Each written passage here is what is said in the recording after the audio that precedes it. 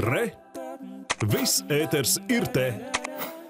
Перепады атмосферного давления в двух частях. Так определили жанр новой постановки в Рижском русском театре имени Михаила Чехова. Пьеса «Морской ветер» – это и драма, и мелодрама, и комедия. Все как в жизни. Куда же занесет «Морской ветер» героев постановки, знает Галина Сладовник. Она побывала на репетиции.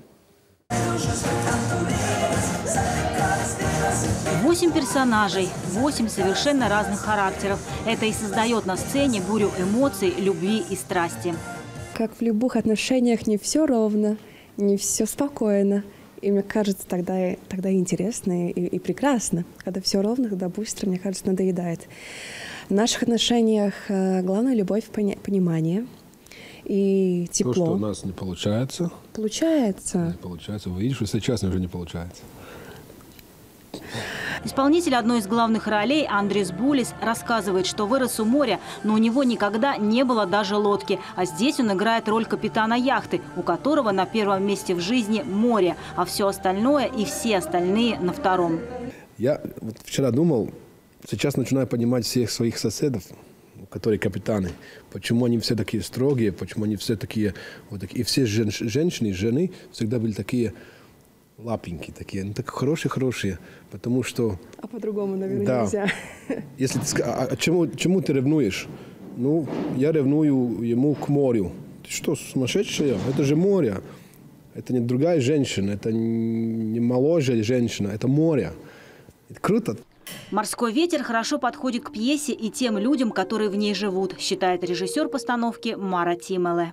Ситуация очень эм, быстро меняется. Действительно, как, как прибалтийская э, природа около моря. То дождь, то солнце, то ветер, то тепло, то жарко, то холодно. И, и поэтому мне нравится эта пьеса, потому что она такая очень живая. Э, и про сегодняшний день, про людей, которые рядом с нами, про нас просто.